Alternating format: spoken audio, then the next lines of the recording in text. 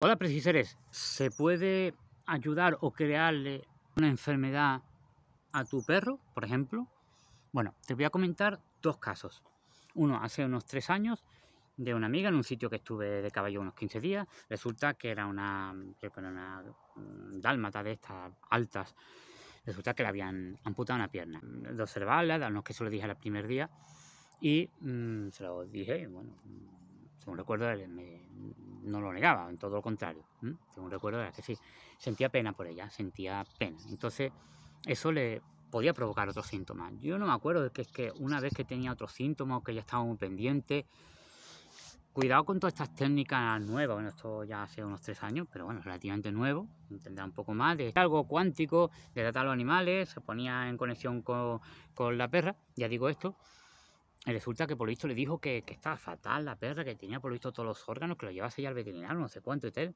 Y yo la miraba, yo no la veía así a la perra. Le hice un testaje que tampoco es porque me tenga que mm, fiar al 100% de ello, pero no la vi así. Y le dije que yo no creía que estaba así. efectivamente, cuando fue a la veterinaria, no estaba así. Mm, le pasaba algo, no sé si le pasaba algo o nada. O sea, no tenía que ver con lo, eso, eso que le dijo.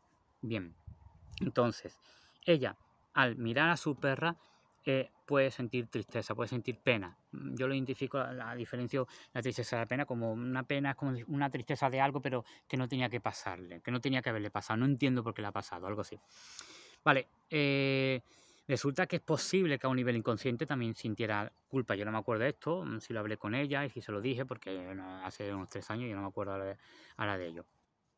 Vale, entonces esto puede influir que la perra tenga un comportamiento diferente, que tenga menos energía, que no esté tan contenta, porque continuamente lo hemos puesto notando de una forma no identifica que no, que tengo entendido que no tienen el mental desarrollado como nosotros, no tienen el mental, pero sí tienen tengo entendido el emocional. Entonces a nivel emocional, a nivel del tono de voz, a nivel de lo que le dice, puede. Bien, y el otro caso es por aquí, un hombre que baja, creo que viene con cuatro perros, y hay una, la, creo que es la más grandota y tiene un tema de piel, estuvimos hablando y tal, le recomiendo un producto, no sé cuánto, que lo mirase, que lo investigase, y después el día siguiente le dije, estoy resumiendo mucho, ¿eh? rapidito, eh, mm, esto puede ser algo psicoemocional. Y me dijo directamente, o sea, no lo negó y me dijo directamente, es que yo la operé, o sea, la operé para dejarla infértil, la capó. Y, y me dice, y es que el trato, no sé si le dije yo, es que le puedes tratar de distinta manera, es que ella me transmite pena. O sea, yo la miro y me transmite tristeza, creo que le dije pena, no tristeza. Y, y me dijo, me dijo que yo le doy un, un, trato diferente. Por ejemplo, a los otros dejo subir al sofá, ya no.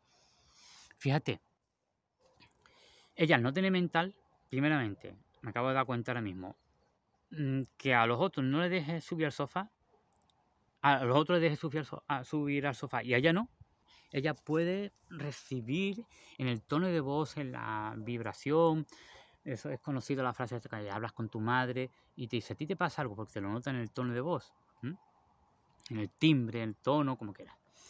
Entonces, eh, eh, cuando nota que a lo mejor a ellos le trata con alegría, y eso lo puede notar en la frecuencia de la voz, y a ella no le trata con esa alegría, le, la trata con tristeza o con pena y es posible con culpa por haberla llevado a operarla para dejarla estéril. Entonces cada vez que se dirige a ella, cada vez que le dice algo, se lo dice de tal manera y encima no la deja subir al sofá y él lo hace por por, mm, por ocuparse de, de su perra, pero ya a lo mejor no lo vio así. Habría que verlo.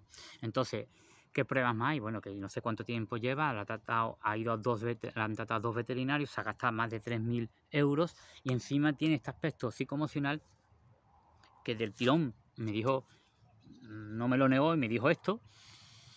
Y bueno, aquí mmm, sería conveniente que él cambiase la postura con respecto a ella, la forma de tratarla, y pero de verdad interiormente que vaya tratando eso y que le dé unas flores de Bach a ella y que también la tome él. Cuando se le manda unas flores de Bach, desde mi punto de vista, a un perro, creo que es recomendable que lo tome la persona que lo cuida, que el dueño, como queréis llamarlo, porque lo que le pasa al perro y sobre todo, aunque fue a nivel físico y a nivel emocional, sea un reflejo de la persona. O sea, los perros pueden reflejar a la persona. Igual que cuando yo trato a un bebé y he tenido casos como lo reflejaba en este caso, que me acuerdo de una, la madre. Esto, mm, lo mismo que podemos colaborar o, ayudar o que se dé una enfermedad en, este caso el perro, en este caso creo que eran los dos casos, creo que he dicho la también, lo creo que las dos son perras. Eh, ¿Se pueden dar al ser humano? Eh, sí, se puede dar, pero ya creo que hay que hablar de más cosas.